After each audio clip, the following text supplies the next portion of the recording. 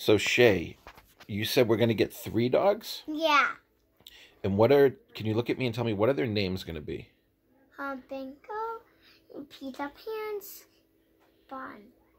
They're gonna be named Bingo, Pizza Pants, and Bun. Yeah.